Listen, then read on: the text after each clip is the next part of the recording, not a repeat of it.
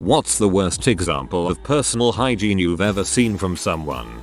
I used to work retail and one day we had this woman come into the store who had not showered in months. She stunk the whole store up from just walking around. We had to ask her to leave due to hygiene.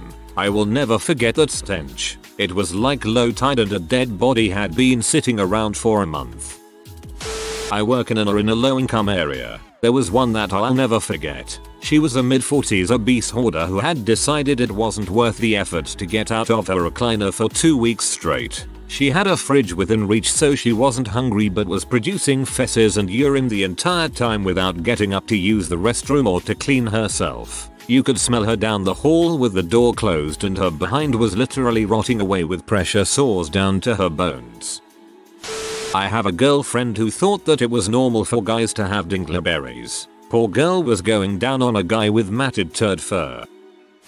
I worked at an engine assembly plant in NY state where everyone is in these 3-5 station teams that rotate every hour so you don't go crazy doing the same job for 8 plus hours. But we had this dude who came to our group who had the nastiest teeth I've ever seen in my life. His bottom front teeth were all fused together into one big, lower tusk and his breath could gag a maggot. It got so difficult to work with the guy, you could smell his breath from at least 6 feet away, that we had to go to a manager to figure out how to handle it and not be dongs. Well they basically told him he needed to do something about it, so he constantly had a tub of mints on him. After that, his breath just smelled like a rotting corpse and mint. So, yay.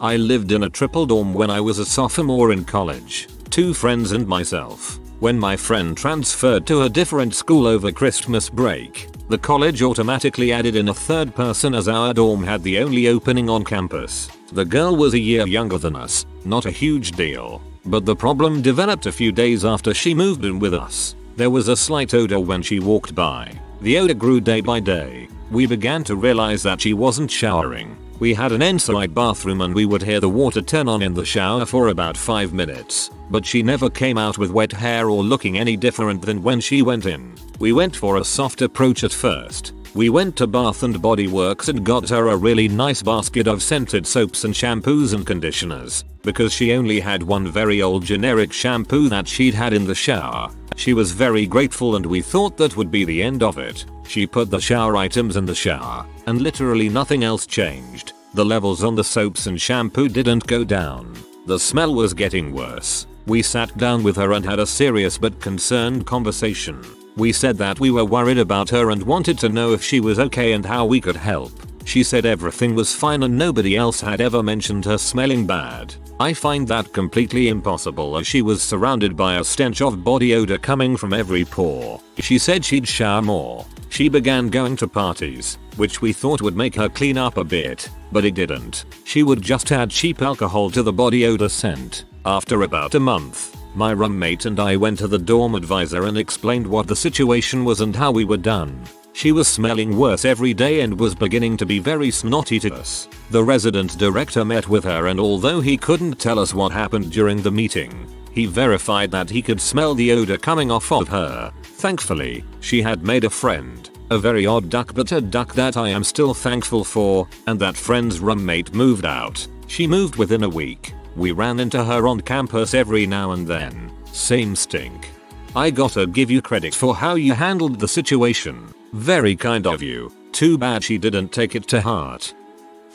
I had a friend with very low self-esteem. Could never find a GF. Self-pity type of guy. He had the worst grime film on his teeth. I told him he won't find a GF until he cleans his teeth because it's repulsive to anyone with any respect for themselves. In less words, he denied it saying someone will like him for him. Blah blah blah. Well one day his grandma paid for him to see a dentist who made them pearly whites once again. Not two weeks later had himself a GF. Still thinks it was never the problem. His mentality of not accepting of the truth can also cause him serious problems in life. Woman was a heavy heavy smoker, which can cause a lot of issues in itself. And bad BO like she never showered. And the list goes on and on. But the worst thing was this nasty brown blouse she had that she wore all the time. I mean like, 4 days a week at least. But she did wear other things occasionally because they always jumped out. Thing is, There was a picture on her desk wearing that blouse from like 5, 6, whatever years before, and it was white in that picture. I just thought it was coincidence and no way it was the same one till one of her co-workers who shared the office with her started bitching about her one day when she was gone, and the woman confirmed it was the same shirt, and she had slowly watched it change from white to whatever disgusting it currently was over the years. My grandparents were heavy smokers. My granddad did quit eventually but my nan smoked until she died. Anyway I'm there with my mom and aunt clearing out the house and they always had this yellow green wallpaper. Start taking family pictures off the walls and suddenly this lovely baby blue wallpaper is staring at us. A guy we called the stink beast. I was a rent-to-own delivery guy right out of college. We had a regular customer that smelled like a sock stuffed with boiled cabbage and soaked in diarrhea all the time. He also only wore tank tops. I went to his nasty house to pick up a stereo he couldn't pay for. I spent 20 minutes in his house unhooking wires etc. There was dog crap on the couch, next to me in more than one spot. And I mean actual turds, not a smear of something. I rolled the stereo out on a dolly through several more piles of crap and loaded the stereo into the van. As I'm ready to close the door, he runs out with a wad of cash and wants me to put it back. While I'm writing up a new ticket, he leans in to adjust something on the stereo. His sweaty, hairy, pit jams right into my face. It was like getting hit in the face with a used diaper. I immediately whirled around and puked in his yard. While I'm trying to be nice and pretend I'm getting the flu, his dog proceeds to come over and eat my puke. So yeah, this guy. Bonus to the story. Two years or so after this happened I saw the stink beast at an old country buffet. I told my wife that he was there, and her reply was that he must be the guy in the blue tank top. She said she could smell him from the opposite side of the steam table. Said people were sniffing the steamer like something had spoiled. I literally just exclaimed aloud, Jesus Mary and Joseph, this is FFS. I want to throw up now. I had a part-time job at uni cleaning out student rooms after the occupants had moved out. One room was left with no fewer than 28 bottles of pee that the occupant had decided just to leave in the room. The shared bathroom was next door. This guy and his family didn't like to shower, and they all had food stains all over their clothing, and the father smelled like he crapped himself, smelled like pee, but that wasn't the worst part. The worst part is he had food stuck in his hair and maggots crawling in it. Literally the guy smelled like death. He said I was being offensive because I stood 10 feet away from him. Guy had the nerve to call my manager over who then immediately stuck his hand up and said he wasn't interested in hearing his story that he needed to leave and not come back until he took a shower. After this is when he started taking care of himself. I am so glad he started taking care of himself. I hope the whole family followed that example and it was the beginning of better lives for everyone. And I am glad your manager had your back. I met a girl on a dating app.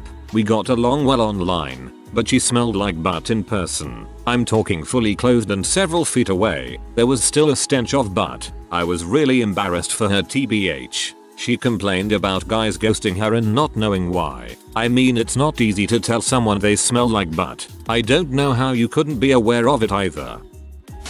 So, I used to work at this really upscale vegan hot pot restaurant a few years ago. The owner manager was very adamant on how it's okay not to wash your hands because in my country, washing hands meant you're cleaning off the hard work you've done. She was the only person who would, even after using the bathroom. We knew she wouldn't wash her hands. She'd use gloves yes and she'd handle food sometimes. But even then, still wash your freaking hands. Also, my ex told me he didn't think it was necessary to wash his dong cause my dong just washes itself when the shampoo runs down my body in the shower. People say that about their feet too. Wash your dang feet. You do not want nasty feet. Especially if you're diabetic. You get nasty feet. You get ulcers. You get an infection. Now you have no feet to wash. I'm a nurse, so I've seen some crap. But the worst would be a woman with scabies and fleas. I don't know how she got them, but she was so ashamed of having them that she basically just barricaded herself at home for some weeks until her daughter got her admitted to the hospital. I'm not exaggerating when I say that everything on her jumped when you came close to her bed or she moved. She had them everywhere and I mean everywhere. I spare you the description of her intimate area. Ugh.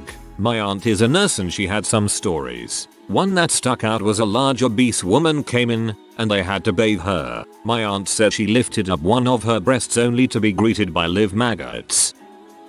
I dated a hippie. Now, he showered every day, but never used soap or shampoo because of chemicals. We had sex a couple times and, yeah, he was a bit whiffy, but nothing too grotesque. I'm into perfumery so also have a thing for the smells of humans. I was cool with it. One day he wanted me to rim him. My mind immediately went to the fact that he never used soap, so his O was probably in, well, pretty crappy shape. I sensually suggested we take sexy time to the shower. I sexily got the shower gel and made a big deal of soaping him up top to bottom.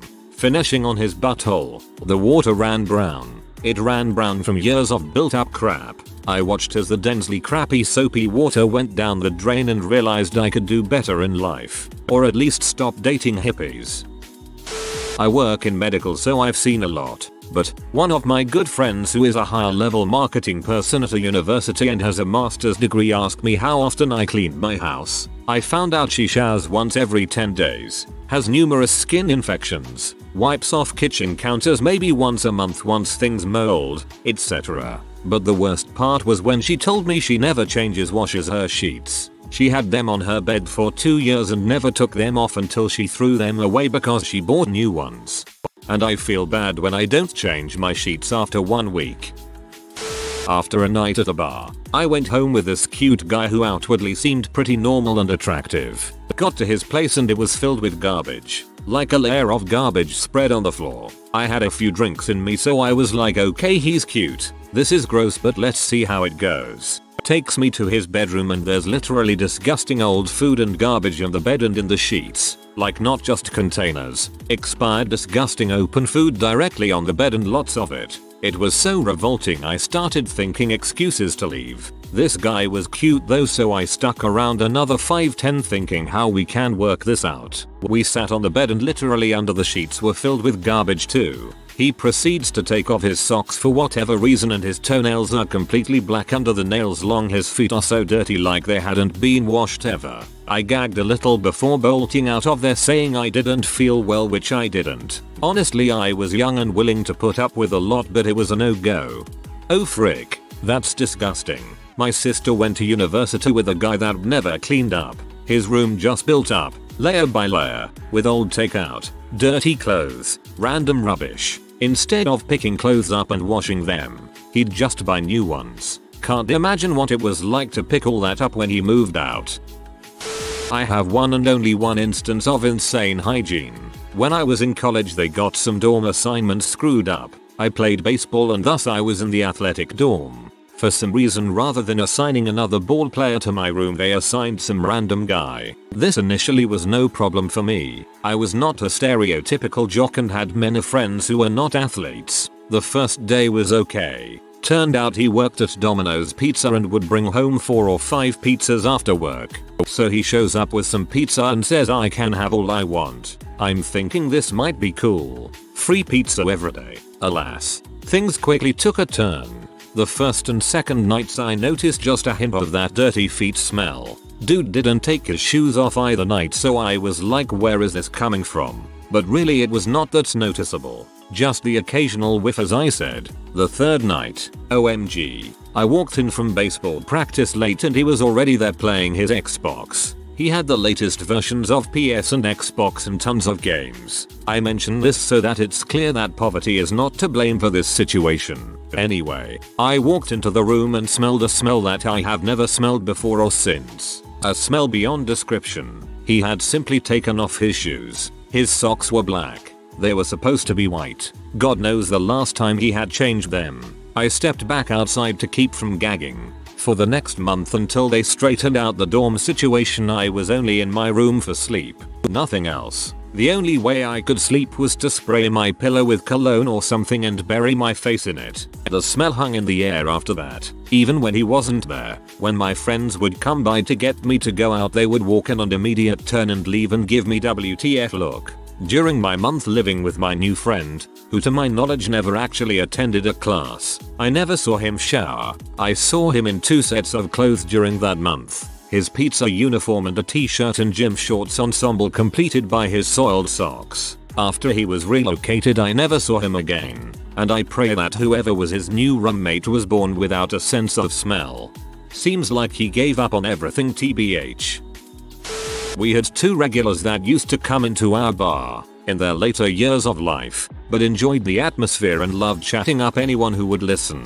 Things started going south a few years back when we started getting some complaints that they would sometimes smell like urine. Then it dawned on me, I hadn't seen either of them get up and go to a washroom. Eventually we came to find out that instead of acting like normal members of society, they would come in, drink beer for a few hours, and just casually pee themselves while wearing diapers and not think anyone would notice. I went to a friend's house and she picked up poop from her cat's litter box with her hand, and proceeded not to wash her hands. Stop, what the frick? This might be the most fricked one here, in my opinion. While in Manhattan found a homeless guy, unconscious in an alley with maggots coming out of his mouth. Told a cop on the corner. Dude that sounds a bit more than just unconscious. My sister went to the same college that I went to. I visited her dorm room once and her suitemate walked in. I was all the way across the room and she just walked into the common room on the other side, but I could smell her immediately. Apparently, she showered once a week, and by showered, I mean turned on the water, rinsed off without using soap, turned off the shower. She also refused to clean up anything when it was her turn so apparently her lack of hygiene was consistent to other forms of cleanliness. Local drug addict. Very sad to see as he looks very young but has obviously been a heavy user for years. Skin and bones and hobbling. Anyway, when he goes in the local shop you can smell him from at least 3 aisles away. Smells like he's rotting. It's so pungent. Sometimes junkies develop brutal infections from repeatedly injecting into the same spot. That's probably what you're smelling. Plus the not showering ever doesn't help. My wife was a labor and delivery nurse and she told me one time a woman was having a baby and the doctor asked the woman if she wanted that mole looked at. Then poked at it with a set of hemostats. The mole moved and it was actually a cluster of crabs that the woman had on her parts. My wife was horrified. So she told me. Girl I was friends with at university had been complaining of an itchy head for a couple of weeks. We all joked it could have been head lice but none of us had any contact with children. Anyway, this girl was known for her lack of showering. We worked in the same restaurant together and she'd frequently finish a shift, sleep in her uniform and go back the next day without even a pat down with a wet wipe just to put it in context. One day in a lecture she scratched her head and a huge louse came out and walked across her paper. It was shocking honestly. Later that day she's got delousing shampoo and a comb. I swear to god each time she pulled the comb out of her hair you couldn't even see the teeth. It was just alive and moving with lice. Still one of the most disgusting things I've ever seen. I mean her head was literally crawling with lice.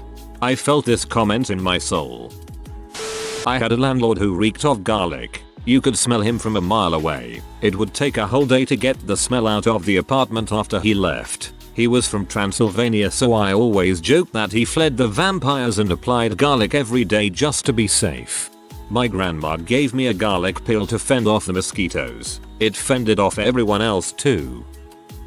I have so many stories for this but M seems almost cheating for this thread. When I was a student there was a fella who had been getting worse and worse with mobility and mental health. So has his wife but I only dealt with the husband. There was crap all over him. Halfway up his shins, almost up to his elbows, all over down there too of course. There was an infection from his toes all the way up to his knees that was all swollen and his skin had started to crack like an overcooked sausage. Except instead of tasty stuff inside, it was yellow pus leaking out. He was septic and in a seriously bad way. How he got so bad was just because couldn't didn't remember how to do hygiene. His hands were caked in crap and used toilet paper with really long gross fingernails. I also had a homeless person who was absolutely covered in fleas, lice and even had crabs in his hair. Everything was just gross.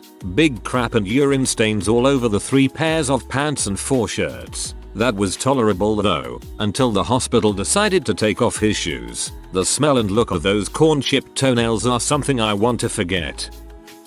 My oldest brother had developed a problem of using plastic bottles to pee in instead of going 2 feet to the bathroom. His room is right next to it. I came home for the first time in months, and me and my other brothers were doing some cleaning. One of them went to put some clothes in his room, and on the desk next to the door was a drinking cup full of fresh pee from that morning. We have no idea if he has peed in any other cups that everyone else drinks from. It's escalated from moldy food and snot socks eating holes into the wall next to his bed to him being too lazy to go pee. He can get up out of bed to pee in a cup, but not to go use the toilet. The grossest thing is he has tried to pass it off as apple juice or sweet tea, and he gets upset for anyone telling my parents and insists he doesn't do it despite the overwhelming evidence. He's 20. BTW. This poor elderly woman had been found down and admitted directly to my ICU. Turned out she had been having diarrhea for the past 4-5 months, which led to dehydration and a fall, orthostatic hypotension. Physical examination showed she had a massive fungating and obstructing anal cancer, so technically she couldn't poop, but she had developed a fistula through the cancer through which she diarrheaed every day. Far and away one of the most abhorrent images I have in my mind from surgical internship. She knew she couldn't care for herself, but assumed thought someone would check on her. No one did, and she became too weak to call for help. Luckily the mailman realized the mail piling up and called the police. The saddest part was that she was really hurt by the fact that none of her neighbors checked on her. Luckily she had no metastases despite the horrific local invasion, and after surgery she did well. Social services got involved and I'm hoping she's in a better place. I visited a friend's apartment and went to use the bathroom. There was no soap of any kind, not even shampoo. He told me he saw no need since he was living alone and they were just his own germs. Worked at a private school where they didn't have soap in the washrooms. Just one of those revolving rag cycle things. I was in a class with 12 boys, all got sick and their parents got pee. Not sure how people don't learn the function and importance of soap. Friends and I invited a new guy to a 7 day LAN party. Now, you've probably heard of using deodorant in place of a shower. But this guy was something else. He'd actually pour the stuff in his hand and rub it on his skin like a lotion. Neck, chest, elbows, dong, butt, and knees. Dude had an aura of suffocating chemical ooze around him. It was awful. I'll never understand how people go to conventions and such and think they can just skip out on bathing. No, I don't care if there are 10 of you sharing a hotel room 5 of you can go to breakfast and the other 5 can rotate showers, then switch. I literally do not care if your group has to miss a panel to avoid being the literal embodiment of why people think nerds are against general hygiene. If you are new to the channel, you can subscribe. I publish new videos every day. Until then, check another video.